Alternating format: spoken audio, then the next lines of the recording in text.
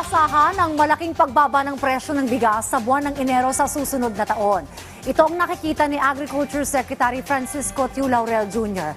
na epekto ng Executive Order No. 62 na nagbabawas ng taripa sa ilang agricultural products.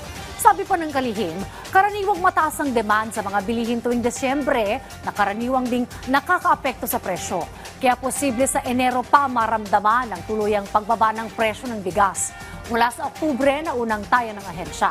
Kasabay nito, mahigpit na imomonitor ng DA ang presyo ng palay sa panahon ng anihan ngayong maulan para masiguro na hindi na dedehado ang mga magsasaka.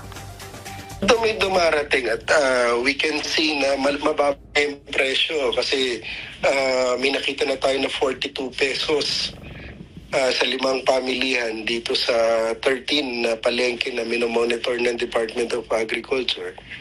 ah, which is 3 pesos lower doon sa 45 ng local na regular milled rice. Ah, we're already seeing yung mga ganitong pagbaba.